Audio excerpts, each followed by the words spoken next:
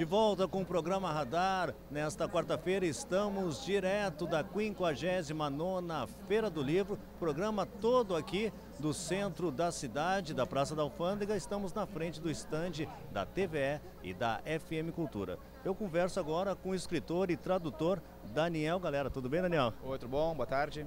O que vem primeiro, cara, o tradutor ou o escritor? Ah, o escritor, com certeza. Né? A tradução é um trabalho que eu adoro, mas ela é um ganha-pão mais do que tudo, né? A escrita dos meus próprios livros é a minha prioridade. E tu vem traduzindo, já traduziu vários livros, né? Quais são os autores e que língua tu costuma traduzir? Eu traduzo só do inglês para português e traduzo literatura de ficção em geral, contos, romances e também histórias em quadrinhos de vez em quando. Tu traduziu um, um filme, né, e um livro, na verdade um filme que se tornou muito popular que é o Transpoint, né, que tem uma trilha sonora que também ajudou muito o livro. Como é que foi essa experiência?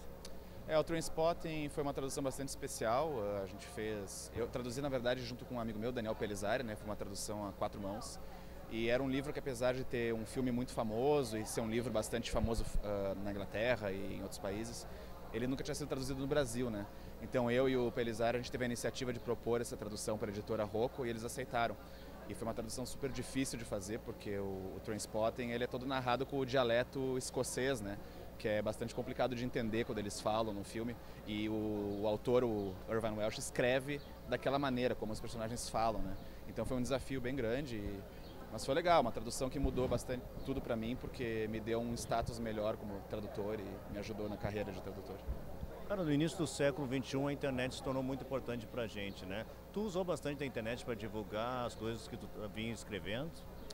Uh, sim, eu comecei a escrever uh, quando eu tinha, sei lá, 17 anos, e isso era 96, 97, era bem a época em que, em que a internet estava se popularizando né, no Brasil.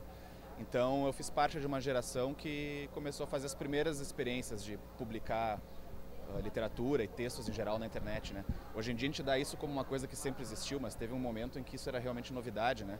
E naquela época não existia blogs, não existia rede social, não existia nada disso. A gente tinha que criar os próprios sites.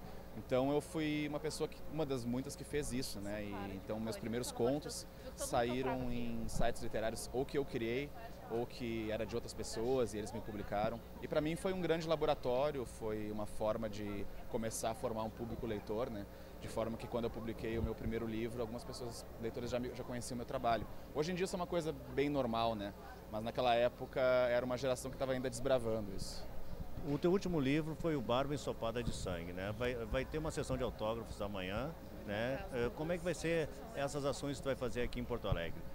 Pois é, amanhã uh, tem dois momentos, né? Tem a sessão de autógrafos uh, do Barba Ensopada de Sangue, que é esse livro aqui, vai ser às 8 horas da noite aqui na, na, na área dos autógrafos aqui da feira. Mas essa sessão acontece depois de uma mesa uh, com o título Amores Expressos, em que eu participo junto com o Daniel Pelizari e o Paulo Scott, escritores aqui de Porto Alegre também. E que, enfim, é uma mesa que vai tratar dos livros nossos que foram publicados por esse projeto chamado Amores Expressos, que mandou 16 autores brasileiros para diferentes cidades do mundo para pesquisar e, enfim, ter uma vivência naquelas cidades e voltar e escrever uma história, um romance que seja uma história de amor que se passa naquela cidade. Né? Então, o meu livro, no caso, se chama Cordilheira. É um romance que foi publicado em 2008 e se passa na cidade de Buenos Aires, que foi a cidade para a qual eu fui enviado, digamos assim. Mas, mas, isso é comum, né? Os lugares influenciarem na escrita, né? E, e, e, aí, nesse caso, vocês propuseram isso, né? O lugar. E tu, tu escolheu o lugar? É, na verdade, não. A gente não propôs, né? Quando o convite para o projeto veio, já vinha com a cidade. Então, era pegar ou largar, né?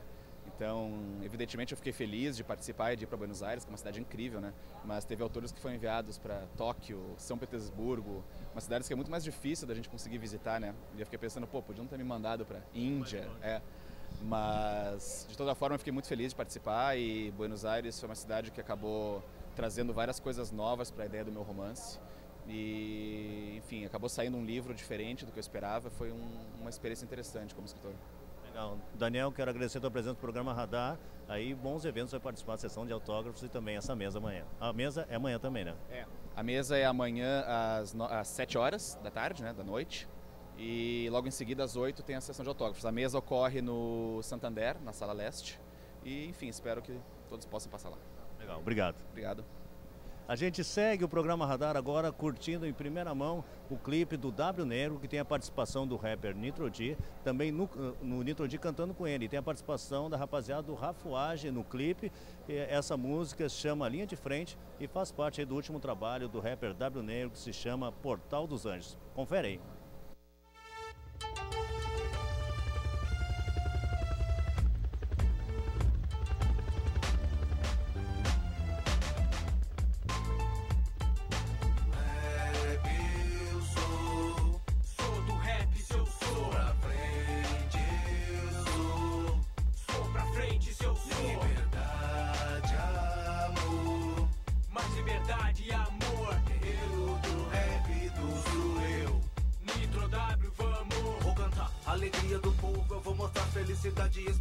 De novo. Radiante energia do gate. Eu vou mostrar felicidade verdadeira dos brancos, dos pretos, da aurora que traz. Do manifesto de vontade, um sorriso de paz. É o começo de uma vida agora. As portas se abrirão a paraíso afora. Independência é o preço. Alegria poderosa, o verdadeiro contexto. Na sagrada esplanada do amor. Na vanguarda majestosa, a igualdade da cor. A igualdade dos povos. A liberdade com certeza é o sentimento nosso. Adversos pra ganhar. Liberdade de cá. Na travessia do deserto de lama, dos guerreiros da chama, o amor que me traz a radiante energia do caminho da paz.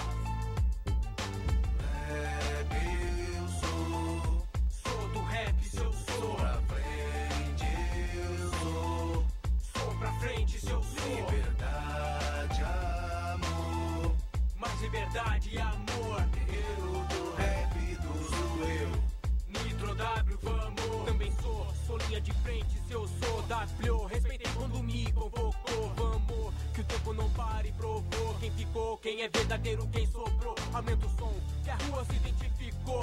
Juntou, misturou diversos alvor. É pra registrar que nós estamos pra somar. Se a missão é resgatar o orgulho, então tá. Não vamos se abalar, que o negócio é ficar.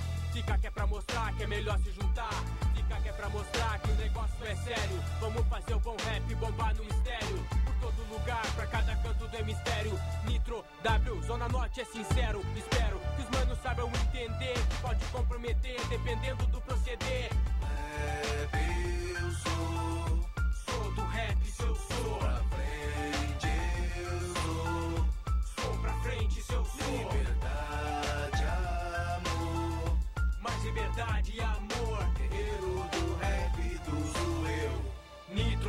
vamos. Adversos, Nitrodi, W Negro, Alvo Cultural, a redenção, irmão.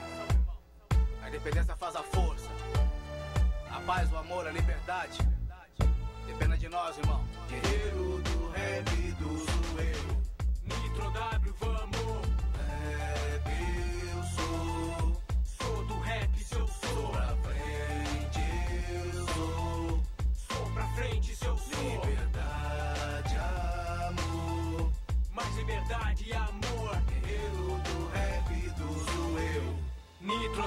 Vamos.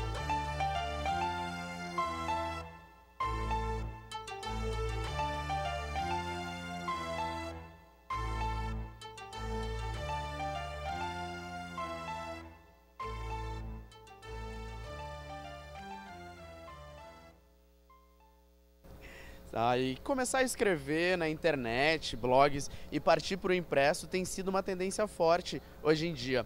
E eu tô aqui com o Léo Lima, que tem 17 anos e é blogueiro, escritor e tá lançando o livro Encontros e Desencontros. Tudo bem, Léo? Isso, bom, Giga. Dale. Cara, qual a história do livro? Então, eu escrevia crônicas no meu blog, e aí desde 2010. Aí, ano passado, no final, do- no início do ano passado, eu resolvi escrever o livro. O pessoal pediu para que eu mudasse um pouco as crônicas e colocasse em um livro que eles pudessem acompanhar, pudessem ter o livro físico. Aí eu lancei o livro. E o que que conta o livro, cara? O livro é um romance que fala sobre dois amigos, fala bastante sobre o destino. Eles escondem dois segredos durante grande parte do livro que só eles sabem e eles acabam se revelando só no final do livro. Cara, tem uma, uma grande diferença entre escrever para o público de internet e escrever para o público leitor de livro mesmo? Olha, acredito que no meu segmento, no romance, tem sim. O pessoal que escreve crônicas nem tanto, porque ah, é parecida a forma de escrever. Agora o romance é diferente, sim, você tem que andar em paralelo com as crônicas do blog, mas você tem que ter um trabalho totalmente independente. Então é, é complicado, mas, mas tudo, tudo junto no caso. Né? E tu vai autografar o teu livro amanhã, né? Queria que tu falasse um pouquinho o que, que tu tá achando da Feira do Livro, cara. Isso, então, bem bacana, é a minha primeira experiência, primeira vez que eu venho para a Feira do Livro aqui, já estive na Feira do Livro da minha cidade, de Passo Fundo, mas aqui em Porto Alegre é a primeira vez, bem bacana, amanhã às 16 horas a gente tá, tô autografando meu livro, às 14 tem o, o evento junto com a Cris e uns outros autores sobre o blog, dessa transformação do blog para o livro. Legal, então obrigado, Léo, certinho. E a gente continua, né, nessa semana até o final de semana, né, pra acompanhando a Feira do Livro. E contigo aí, Pia.